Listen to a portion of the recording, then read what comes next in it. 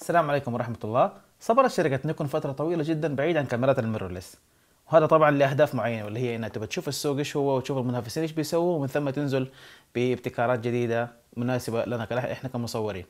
وبعد طول انتظار طرحت لنا نيكون كاميرتين جبارتين الأولى اسمها زد 7 والثانية اسمها زد 6 وكاختصار لحلقتنا اليوم ترى نجحت نجاح باهر.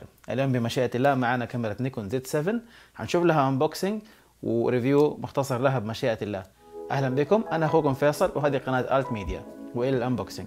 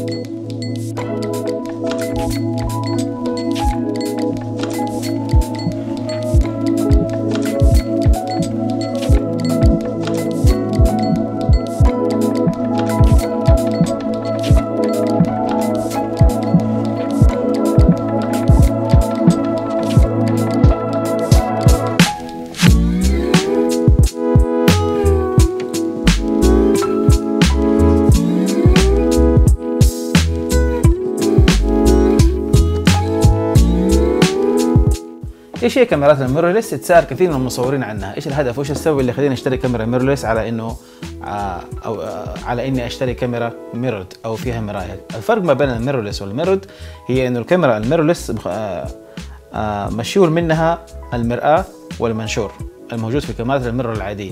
الشيء هذا يسمح لصناع الكاميرات إنهم يخلوا الكاميرا حجمها أصغر وبالتالي يصنعوا لها عدسات أصغر كذلك شيء يسهل كثير عملية التنقل بالكاميرا. شكل الكاميرا أمام الناس بعض الناس يس- يستنفروا من شكل الكاميرا الاحترافية الكبيرة ويخافوا منها. الكاميرات الصغيرة سهلة في التنقل سهلة أثناء السفر وكمان خفيفة خفيفة فيما يتعلق إذا كبر عدد عدساتك ومعداتك كبرت يعني حيكون برضو حجمها صغير مقارنة بكاميرات ال mirrored. ميزة أخرى لكاميرات ال mirrorless هو إنك قاعد تتفرج على live view آه لجميع إعداداتك في ال viewfinder مو بس في ال live view في الشاشة وإنما في ال viewfinder كذلك. كاميرات ال mirrored الصورة اللي أنت شايفها منقولة لك من العدسة إلى ال viewfinder هنا عبارة عن صورة حية مباشرة optical زي ما يسموها أو بصرية ما هي رقمية. فالشيء اللي أنت بتشوفه أمامك بالضبط هو اللي بتشوفه في ال viewfinder إذا غيرت ال white balance إذا غيرت الإضاءة التعريض إذا غيرت الألوان في الصورة إعدادات داخل الصورة ما حتشوفها إلا بعد ضغطة زر ال shutter أما بالنسبة لكاميرات ال mirrorless فاللي أنت شايفه هو live live view live feed مباشر لجميع الإعدادات اللي حطيتها. إذا أنت غيرت ال white balance في الصورة أنت شايف أصلا الصورة هنا بشكل مباشر بتغيير ال white balance اللي تبغاه كذلك على التعريض وأشياء ثانية نيجي الآن لمواصفات كاميرا نيكون Z 7 كاميرا Z 7 الميجا بكسل فيها 47 ميجا بكسل يعطيك هذا الشيء صورة من 8256 طول. إلى عرض 5504 بكسل. هذا الشيء طبعا مناسب جدا للمصورين اللي بيطبعوا صورهم. راح تتمكن بمشيئة الله بهذه الأبعاد العملاقة إلى أنك تطبع صورة كبيرة جدا. ال sensor الموجود داخل الكاميرا هو sensor full frame وهو sensor مشابه للسنسورات ال- أو لأسطح التصوير الفيلمية القديمة. وهذا طبعا هو الشيء الاحترافي وال standard في عالم التصوير حاليا.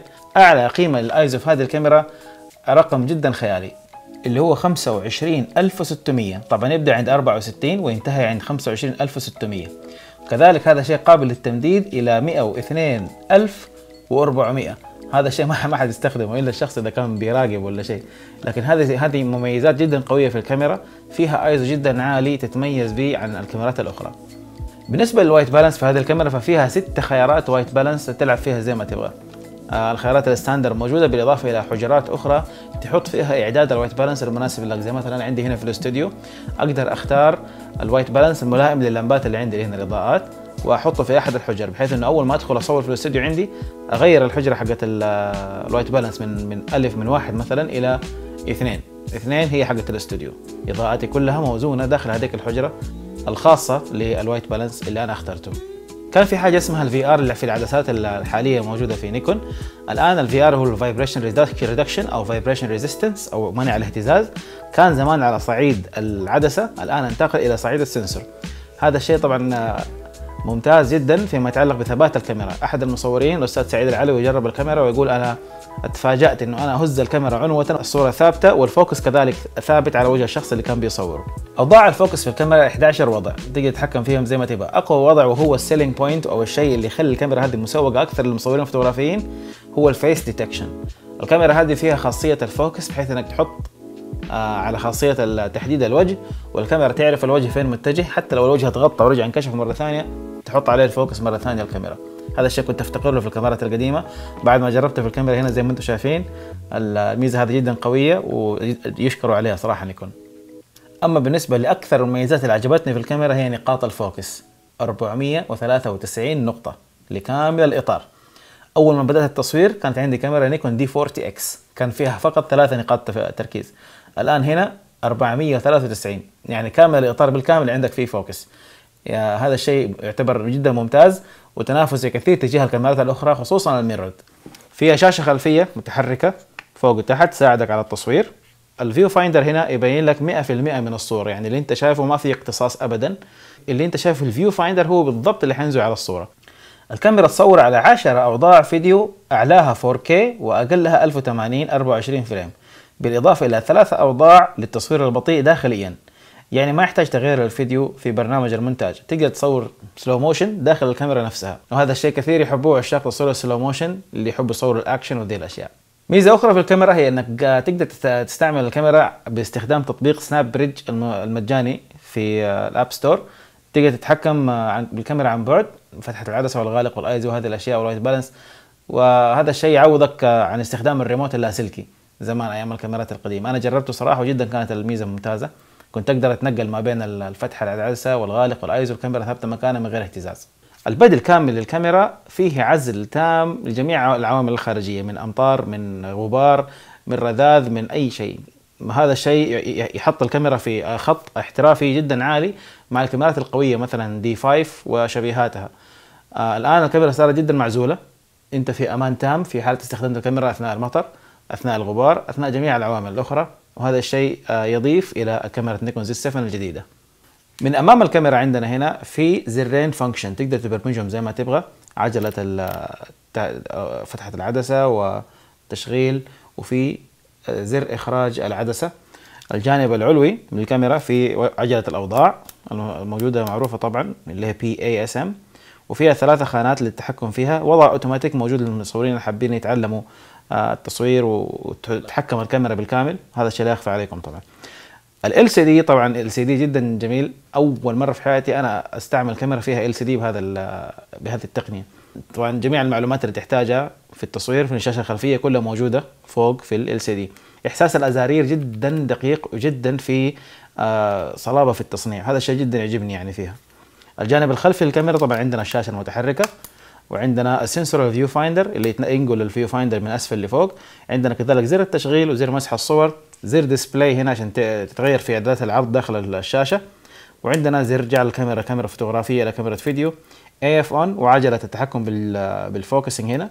زر i اللي يفتح لك المجال الكامل بحيث إنك تستخدم خاصية اللمس اللي في الشاشة وتغير الإعدادات على بسرعة يعني باستخدام زر i و ال joystick هنا في وسطها وسطها أوكي. تكبير تصغير الصورة تغيير إعدادات الصورة اللي هي مثلا شو اسمه آه تصوير تتابعي أو مؤقت تنازلي كله موجود هنا. وزر المنيو. الجانب الأيمن عندنا قبضة جدا ممتازة. القبضة إحساسها جدا جميل في اليد. أنا استخدم أستخدم نيكون D 850 وكنت أعتقد إنه لما أستخدم النيكون Z 7 حيختلف علي الوضع بست... لأني حصور آه، كاميرا أصغر. لكن القبضة هنا جدا ممتازة صراحة يعني تعب باليد زي ما يقولوا يعني. الجانب الأيمن كذلك في مدخل ال SD طبعا هنا ما عندنا SD هنا عندنا ال XQD طبعا ال XQD flash memory أصلب بكثير من ال SD ومعزول أكثر كذلك من ال SD وال CF كثير من المصورين كانوا يتمنوا إنه يكون فيها مدخلين لل SD card مدخلين للكروت هنا. آه لازم يعرف المصور إنه هذه الكاميرا موجهة لمن؟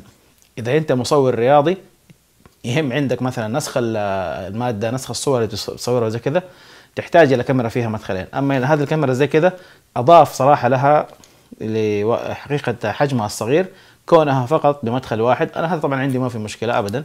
أنا ما عندي مانع إذا كان عندي ما عندي مانع إذا كانت الكاميرا بمدخل واحد. أسفل عندنا البطارية ومدخل ال tripod.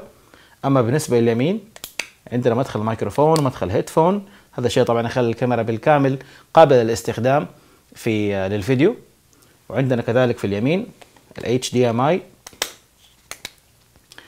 ومدخل USB وكذلك مدخل لل remote ال time lapse. اسفل آخر واحد هنا.